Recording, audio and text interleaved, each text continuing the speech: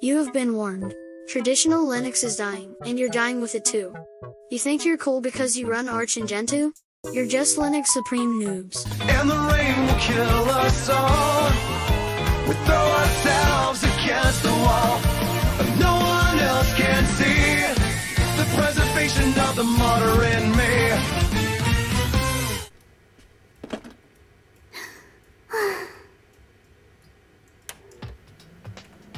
This time is Micro OS arriving on desktop. It's a containerized system based on OpenSUSE, and similar to Silverblue it is designed with an immutable base image on runtime. Since the system is read-only, Micro OS uses transactional updates that are atomic, and Btrfs for snapshots and rollbacks. That last is the main difference with Silverblue that creates Git-like commits on software level with OSTree library, and currently has much more capabilities. But a big similarity with Silverblue is that in the case of an update, or even a new installation of an individual package, we should restart the system and mount the newly created image for changes to take effect. In this case GIMP. And while we can push packages on base image like that, MicroOS is designed to work with containers and Flatpaks. Which bring us to the main event of the video. It's not an accident that Red Hat, Intel, OpenSUSE, Purism, Endless, Elementary and pretty much everyone else, is going with Flatpaks. And it is neither an accident that heavy software-based companies like Mercedes, Porsche, Tesla and others, are using traditional containers for the in-car computers. There is virtually no worse now. So before you update or install Ubuntu, you should know that it will be a time not long from now. You will lose all your workflow and your snaps.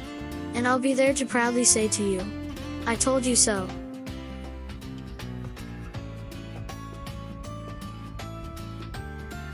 Back to Micro OS, and we have two choices to get it.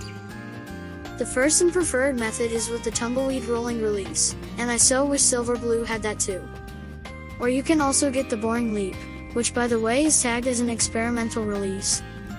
Speaking of experimental, you may previously notice the missing GNOME icons. All those systems are maintaining very small base images, although forgetting to add Adwaita icons looks like amateur work to be honest. Point is, everything you see is everything we get by default, at least currently. Which is more or less the same like Silverblue, with the difference that Silverblue comes preloaded with lots of Flatpaks.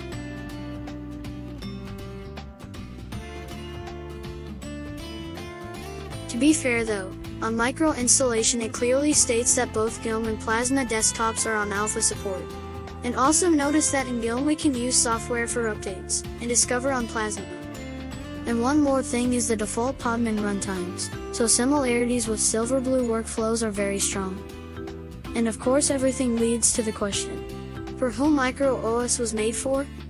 According to Richard Brown, Micro OS release engineer and former chairman at OpenSUSE, Micro OS is not for everyone. But it should be perfect for lazy developers, and people that are used to Android, Chromebooks and such experience. So actually, Micro OS is for everyone, and Tumbleweed and Leap desktops are deader than dead.